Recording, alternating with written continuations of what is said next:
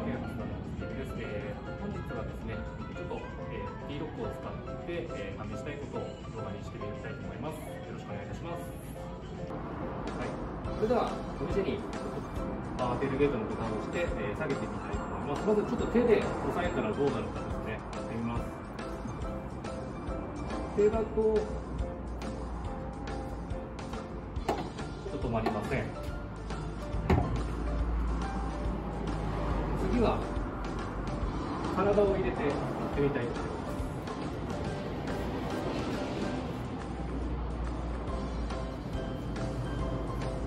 す体を入れるとこのように、まあ、ちょっと当たっただけであの戻って止まるようになってますのでちょっといろんな場所で端っことかでも試しにしておきます。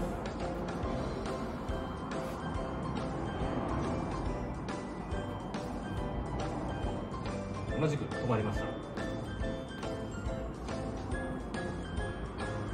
ちょっと挟まれた場合どうなるかちょっと試しにやってみたいと思います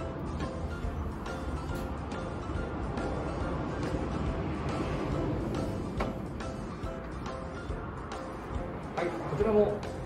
同じくしっかりと止まりましたちょっと手で押さえただけだと止まらないですけれども体が間に挟まった時はしっかり止まってあのちょっと上に上がるようになっております。ちょっとまあ危ないですので、あの皆さん真似しないで、あくまでちょっと参考という形にしていただけると幸いでございます。あと、こ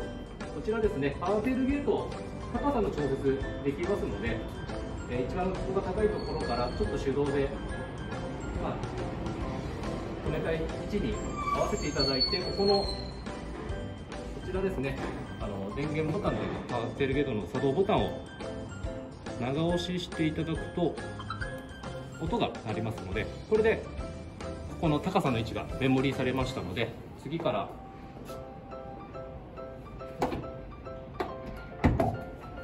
先ほどの高さで止まるようになっております。こちらであの女性の方も、まあ、押しやすくなるのかなと思いますのでぜひとも